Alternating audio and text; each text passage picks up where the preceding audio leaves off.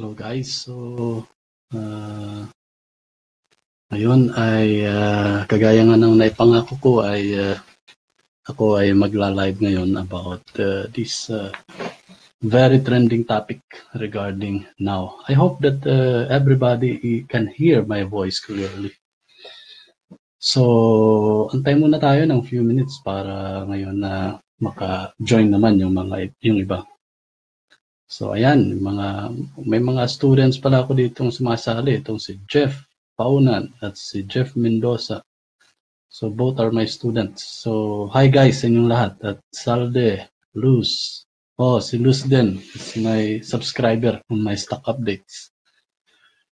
I mean, not the stock update but the uh, uh, about my recorded sessions.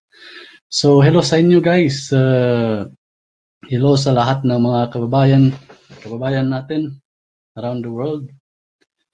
Uh, saang panig ka man ng daigdig. So, I'm very glad na with one, uh, you know, mission and goal, uh, nagtitipon-tipon tayo dito sa isang goal na ang goal natin ay maging profitable sa market, di ba? Yun naman talaga yung ano natin, yung main goal. So, I'm sure na yung iba sa inyo, I mean, I'm sure that uh, dito kayo ngayon nanonood dahil it's either mayroon na kayong now na stop, naka-hold pa rin kayo, or either nag-aabang kayo kung maganda bang bumili sa now. So, dalawa lang yun. Or, uh, pangatlo, nakikiramdam kung ano ba, buy or ano.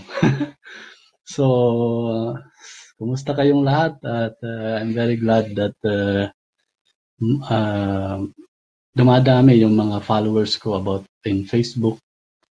Actually, I just started my mentorship uh, and um, about stock uh, to becoming, uh, you know, publicly uh, broadcasting my live session since a uh, few, few, few weeks ago. So, and I'm very glad that uh, uh, sa ngayon marami nang ano nag interesadong mag-follow sa akin. I don't know what's the reason, but I'm I'm very happy. So just uh, follow me in my Facebook page, or you can even add me uh, as a friend in this uh, account kasi this Facebook account of mine is all about stock market, stock investing and cryptocurrency, lahat. So kung gusto niyo sundan ako about my updates, just uh, you know, follow me. Alright, so yan, may mga naka-hold pa rin sa now. Mayroong naman ipit, Gmar, ipit. Okay. so I hope that this uh, video somehow will uh, help you and uh, somehow enlighten you and guide you so that uh, you won't you don't you won't panic in the market. All right? So my my main goal here is uh, para ma makita nyo yung ano ba talaga yung uh, uh, magandang strategy na gagawin if in case that will happen and if in case this one will happen. So it's not a kind of thing here that we are doing na I am telling you that tomorrow or on Monday the price will be 30 pesos per share or on Monday the price will become zero. So this is not my uh, my task. So in the stock market, uh, the stock market, guys, what we need to understand is uh, to see what is currently happening. Uh, I'm speaking about the technical chart, okay? So to, to see what is currently happening, and from that moment, what is happening, you make an action out of that. So because uh, kasi naman uh, nobody has a crystal ball to predict the, the market price on the next day, on the next week, on the next year. So what we have here is that we have this company, Now Corporation, and uh, gaya ng nasabi ko in the previous session, it's a very, very speculative stock. Of course, uh, speculative stocks uh, for investors like me, I'm, I'm basically an investor. I also do swing trading, but uh, I'm not doing, I'm not uh, using all my funds for swing trading. I allocate a certain uh, percentage of my portfolio, which is dedicated for swing trading. and others are dedicated for midterm investing and the rest of the another account that I, I have is dedicated for long-term investing. So that is my style. And you need to ask yourself what kind of style that you have. And the kind of style that you need to have will depend on the kind of lifestyle that you have, the time that you have, and the, uh, the skills that you have. Kasi if you are planning to trade but you don't have that enough skills and knowledge and technical analysis, then that doesn't sound good. So it must uh, what you what you are doing must uh, uh, match with the current skills that you have. Kung wala ka pa masyadong uh, skills, then what you need to do, you learn. Learn, learn, learn. So learn first, then you earn. All right? So ayun. So okay, so wag na tayong paligoy-ligoy pa. Marami ta marami na nag-join. At uh, yun, there is a hype, there is a pullback. All right, so enlighten me about now, hold before announcement. Ayan, so this is an spec a speculative stuff. And what we are going to do is basically a speculative type of trading. This is uh, more or less similar to cryptocurrency trading. So we speculate, right? So with Now Corporation, we speculate, we speculate as well. So one one thing that I'm doing also with Now Corporation is to go in and out, in and out. So once the people are selling, panic sell, I buy.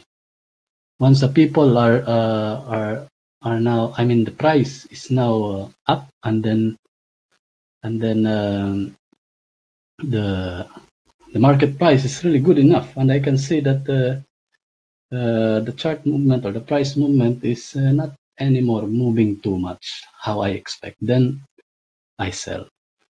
So, and then I rebuy again, re-enter when the price goes low again due to panic sell, just like what happened last Friday.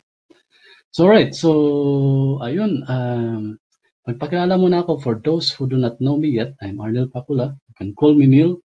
I am basically an engineer and at the same time a teacher.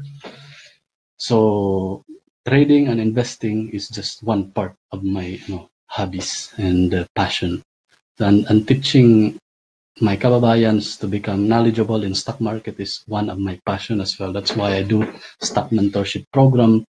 At for those naman na ayaw, ayaw na mag-analyze, gusto lang sumunod sa aking mga recommendation and uh, when to buy and when to sell, then I have also that program called Weekly Stock Updates. So if you want to subscribe on that, just let me know. So I also do consultation for those whom the portfolio is a little bit struggling on how to make profits. Then you can book me for schedule for for a you know consultation. All right, so hindi na ako magpaligoy-ligoy pa guys because I know that all of you are very very much excited about this uh, Now Corporation. So what I'm going to do guys is that uh, I will I will tell you first what happened last week especially last Friday. And then from that, we will see what kind of uh, actions are, are possible in this market. So, as I told you earlier, we are not defining here the exact action and exact uh, uh, conviction na yun, tataas talaga si now next week. But what we need to have here is that if the market price goes up, what you need to do? what do you need to do? If the market price goes down at a certain level, then what do you need to do? This is the so-called strategy. Right, so you have plan A and you have plan B. Right, so let's go to the to the chart. All right, so this is the chart of uh, Now Corporation. This is a daily chart. All right, so February 15, as you can see, we have here a candle which has uh, thick body but very very long wicks as well. So ito yung candle in the previous day. So alam niyo naman siguro kung paano magbasa ng candle. Pag green, open siya sa baba, nag-close siya sa taas. Pag red, nag-open siya dito uh, sa taas, then nag- nag-close sa baba. Ha? So ganun yun. But uh, this uh, high wicks, meaning to say that yan ang naging range niya sa high, ito yung maximum, ito yung minimum naman. So, ano ba mapapansin natin dito from this one day? So it means here that the, the price moved as low as uh, as uh, 9.0 last Friday.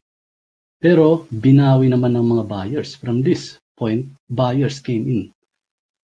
Kaya nag-close yung yung uh, now uh, stop at 13.98. Ito naman dito, during that day, it went up as high as uh, almost 20.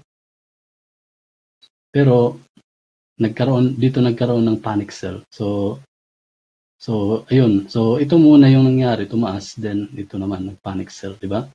So nabalitaan ko na it's all about the fake news na lumabas. Pero actually, I just learned about this uh, you know, fake news just after the market close. So hindi ko talaga wala talaga akong kalam-alam about the news. Just I made an action based on what I saw.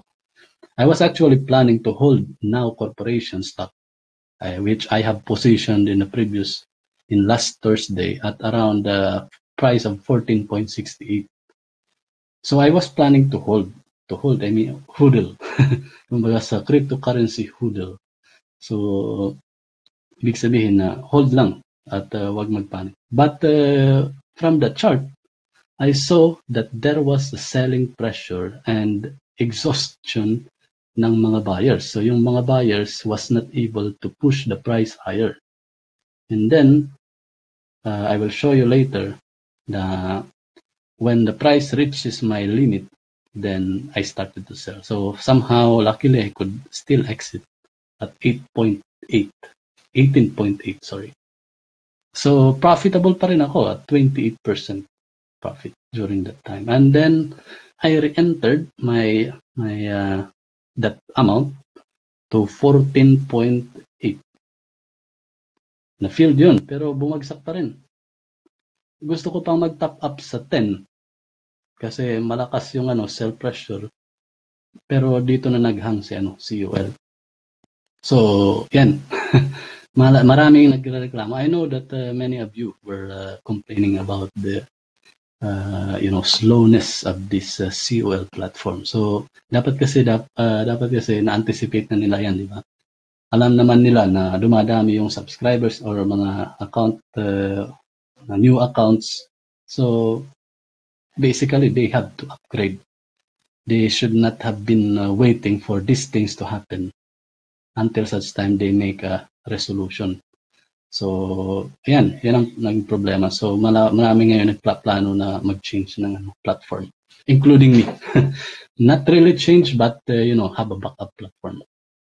So, I'm, I'm eyeing the field stocks. All right, so, all right, so ito naman ngayon. So, so basically, uh, one thing very important here to notice is that kung mapapansin nyo, itong, itong wick na to sa baba, from this point to this point, it is 480.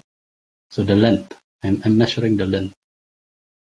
From this point naman, yung wick sa taas, it's around 385. So mas mataas yung wick dito. 480, ito mga 300, ano lang, 70. I mean, not 370, but actually lower. This to this, it's only 293 or 300. So mataas yung wick dito. Ang ibig sabihin niyan guys, na bumagsak yung price but buyers were still willing to buy. Sinalo nila dito. So ang, anong ibig sabihin niyan? Buyers are still in control on this market. Again, buyers are still in control in this market. And when buyers are still in control of this market, we are expecting that uh, now corporation is still in a good shape and we are expecting that prices will still move higher. So how high can it still go? I would tell you now that uh, I would not, uh, for now, I, I would not uh, uh, say yet that it will go higher than the previous high kasi at, at previous high, dito naman papasok ulit yung profit taking. So expect another profit taking at the previous high kasi ito na yung magiging resistance, di ba? But if that previous high will be broken, so meaning ang price is mag 20.3, expect that it will still move higher. So the market, it means to say that the market is still willing enough to, to buy higher prices of this of this particular stock. Kaya this is the reason also why 52 weeks high is a very significant number. Kasi pag na-break yan, meaning that bulls are still in control. Pero pag nag-price rejection, meaning to say, price moves high to, uh, sorry, moves high to that and then bounces back. That is an indication of still, I mean, the uh, indication that uh, market, I mean, the investors and traders, I mean, traders only are profit taking. So it's better to, to go with how they are doing and then re-enter when they are done with the profit taking. So that's it. That's that's one one one uh, uh, insight from me. Okay, so nabanggit ko kanina na kapag the break naman yung ano, yung resistance na yan, how high can now corporation go further? At dyan papasok naman yung Fibonacci extension. Ito yung magical na ano, uh, measuring tool. So, hindi ko gagamitin ngayon ang ano, ay, okay, I, I can, I can use this. Okay, so check muna natin kung marami bang nag-join. Wow, madami ah. So, watching from Perth, Australia, Manu, my student. Wow. So, I'm very glad guys na nag-abang talaga kayo kahit ano, very late actually ito sa Pilipinas. But I think some of you are uh, located uh, somewhere abroad. All right, so let's continue this. So the question is, how high can now corporation go if it can break the price 19.98 or rounded off to 20. So we can uh, use Fibonacci extension. So kung magtatanong kayo, paano ba itong Fibonacci extension? Uh, paano ba gamitin yan? So basically, kung gusto niyo namang matutunan itong mga uh, technical skills, then you can uh, book me for a mentorship program. I do stock mentorship program. It's composed of four sessions. The first session is fundamental analysis. Second and third and fourth sessions are all about technical analysis. And the good thing here is that I don't make this uh, technical analysis very complicated. I use the easiest way, I mean the easiest uh, um, techniques that makes profitability. So easy techniques, easy to understand, but very powerful and make you more profitable. All right, so what is the tool that we are using? That is the Fibonacci extension. So this is my base. That is the second point where it the previous high, then the third point. Oh, sorry. Fibonacci extension base that one and then lowest point here. Okay, so ayan. Mga plot-plot talaga dito kung hang, an, ano yung mga magiging next uh, target prices for now. So Okay, so this one 22.67 the next is 30.95 and the third is 44.34. So, paano ba gamitin yan? I'm not saying that on Monday it will go 43, 44, 34, or 30.95. Gagawin nyo guys is that pag ma-break itong last high or previous high, obserbahan nyo ngayon, magkakaroon ba ng profit taking dito or ma-breakout. Pag ma-breakout yan, the next target price will be this. At pag mag-breakout pa rin yan, the next target price will be this. Paano naman kung hindi nag-breakout? Then, you may take profit. As easy as that, guys. Right? So, don't be too greedy. Pag nakita yung uh, uh, rejection of the prices are happening, also take profit. If they are taking profit, you should also take profit. You deserve your money. You deserve your profit. Right. So, ayun. Uh, yun naman, i-perform ko naman yung analysis ko earlier na I am still uh, bullish on this market. So, ngayon, tingnan mo. Uh, tingnan nyo yung EMA 20. EMA 20 is basically an indicator, an oscillator that when the price is above that, the momentum is still there. So, as you can see, 20, the price is above, momentum is still there.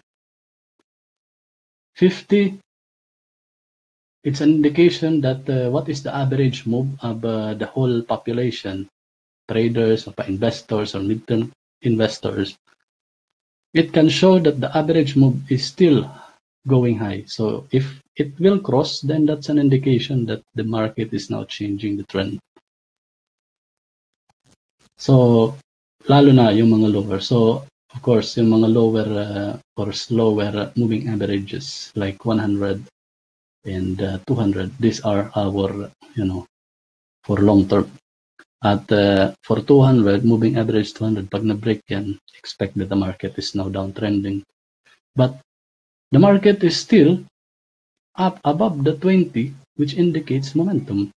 So we are still bullish, right? So that can only show that we are still in a good shape. No need to panic. What happened last Friday was about this panic sell.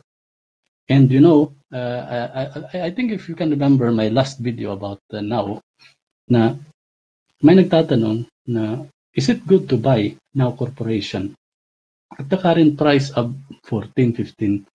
And I said, no, you should never buy. You should wait for a pullback or a correction.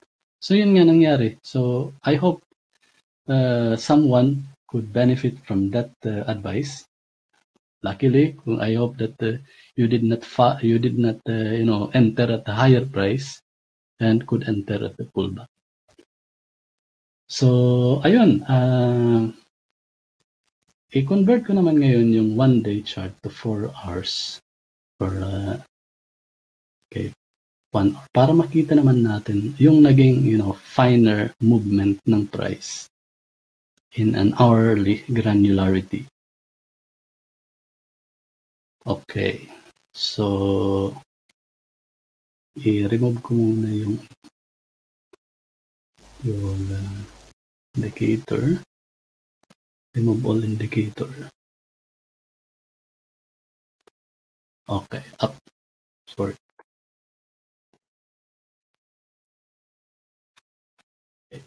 Wala. okay, so Okay, teka lang ha.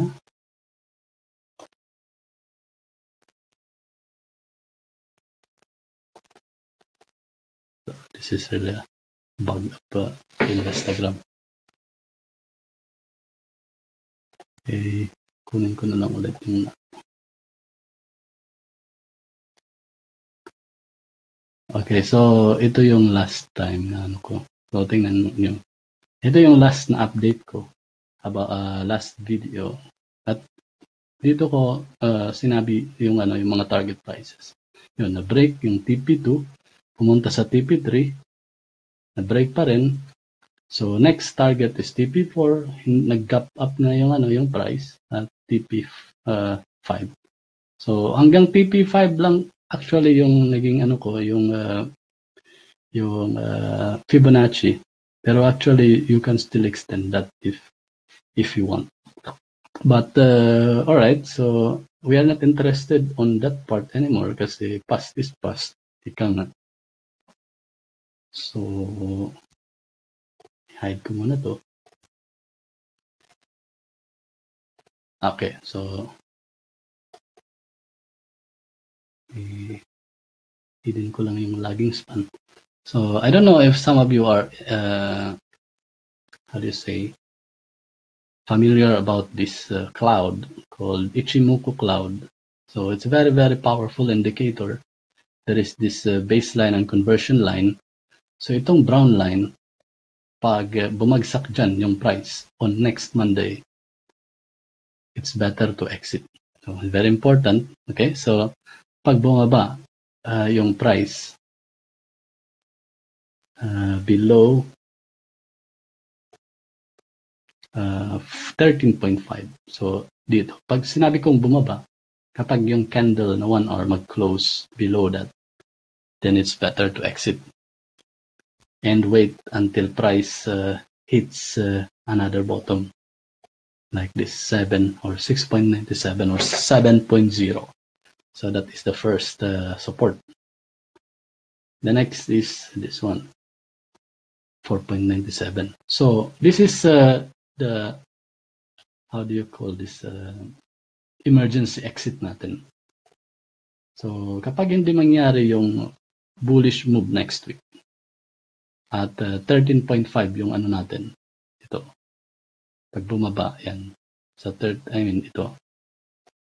Yan so the, the candle closes below that. Then it's better to wait for price to move lower. Actually there is one here. Yeah it's at 19.54 so that low this one at 13 ma-break yan 13.2 or 13.5 then price can move to 9.55 and if it will be broken down it will move to 6.97 the worst case all right so ayun. Ito pa. Uh, isa pang analysis is extend natin yung trend line from this high to this lower. Naka-form tayo ng triangle di ba? So, in that case, kapag yung price uh, mag-break, mag-break, uh, mag-break itong diagonal uh, the resistance. So, for instance, here, 18.32, it's an ind indication that the the buyers are in control on this market. And the first per, tra, first, uh, first take profit point is this 9.95 or somewhere around that price. Pag ma-break yan, then use the Fibonacci levels na sinabi ko kanina. So, ayun, di ba? So, kitang-kita naman na kahit nga itong cloud, kapag yung price above sa cloud na to, you are still, the, the market is still in a good shape. Tingnan naman natin yung volume. Paano nag-move yung volume? Tingnan nyo. So, reset muna. So, ayun. So that market correction is this. Itong pullback na nangyari sa price. Ito yun, yung volume. So yung volume was not really much actually. Yung sell volume. Kasi while the volume is still above this trend line, it is still okay. So when we are still very far from that. Ito naman, uh, kahit yung RSI, nasa malapit pa rin sa overbought level. Ba? Nasa 55. So mala, mala, malapit pa rin siya sa overbought level. DMI naman. So tingnan natin si DMI. Okay, so DMI nag-meet lang yung ano blue at yung yellow. So it's still not really indicating that uh, there is now uh, uh, that uh, the sellers are in control on this market. At saka yung ADX, uh, yun, mataas pa rin yung ADX. Nasa 65 to 70 pa rin. So it's still in a good shape. So indicators, price action are telling us that the market is still in a good shape. And we are still uh, having a positive outlook for this uh, Now Corporation. All right, so I hope that uh, you guys, it was very useful to all of you. At for those who are interested about my stock mentorship program, just uh, go to my Facebook page. Um, yeah, you can find me with this stock mentor Neil page. Itong stock updates, this is my group for my weekly stock updates. And if you want to join this group, you need to subscribe first. And if you want to subscribe, just tell me as well. So, stock mentor Neil page, dito yun. uh, nandito sa Stock Mentor Nil page ko, punta ka lang dito sa shop. Then, nandito lahat ng mga services na ginagawa ko. So, mainly I'm doing stock mentorship program. I have uh, recorded sessions for for those naman na walang time to attend my live sessions. You can avail my recorded session. This is actually a a recorded live session at uh, binibigay ko to uh, at a cheaper price compared to the live session. It's good for those who do not have really time to attend live session at gusto lang mapanood yung mga session ko via their laptop or devices. Pero itong uh, stock mentorship uh, program ko, itong live session, nire-record ko rin yan at pinoprovide ko sa student ko after my session without any charge. So weekly stock updates is all about my stock picks, which are about long-term, uh, mid-term, and swing trade picks. For every week, nagre-release ako every Tuesday. For those naman na interested sa US stock market investing, then you can book me for stock mentorship program for US market. I am actually an investor also for US market. In fact, uh, a bigger part of my uh, investment is in the US market. For consultation naman, for if you have some problem with your portfolio, how to exit from a struggling portfolio, or what what kind of uh, you know um, strategy to use to recover in order for you to recover from that struggling portfolio or you still have you, you are already investing for more than a year but still wala palang palang nangyayari. Maybe there is a problem about uh, picking the right stocks and uh, buying at the right price. So yun uh, webinar. So far hindi pa ako nagkandak ng webinar but I'm still uh, uh, trying to figure out how this can work in the future all right, so I hope that everyone, it was useful to all of you. Thank you for joining, watching from Dubai. Jong Sangin, uh, hi Sayujan. I have a lot of uh, friends and classmates there who are in Dubai. So I hope that uh, in the in the future I will be able to somehow do really seminars uh, on the location where you are. So actually, I'm already thinking of that for a long term. But uh, I hope that I can really do it. So there is already a friend of mine who is uh, interested to to partner with me so he can start organizing the webinar, I mean, seminars in US. At uh, pati rin sa, ano, sa, sa Pilipinas, kapag makauwi ako makapagbakasyon, it's also good to conduct some, spend some days with you guys para naman may share ko yung mga knowledge ko at mga, mga skills. Kasi, you know, there is only 1% of Pinoys who are uh, who knows stock market and investing in the market. It means that we uh, many Filipinos are not really taking advantage about this uh, good economy that we have. Uh, a lot of foreigners are investing in uh, in the our stock market, so we are dominated by foreign investors. So they are the one who are taking advantage of, of our good economy. Alright, so yun, uh, medyo overdue na tayo, 3 minutes ahead uh, of the schedule. So thank you very much to all of you. And for those who could not uh, listen to this, it will be uploaded to my YouTube page or YouTube channel. Then just, uh, you know, uh, watch it there. And good luck sa guys. Uh, I hope that the next week about Now Corporation trading will be very much profitable. And uh, let me know what uh, was the result. Uh, did my uh, you know analysis help you a lot? Thank you guys. Have a nice day. Have a nice night. Good, good night sleep to all of you, and uh, God bless. Till next time.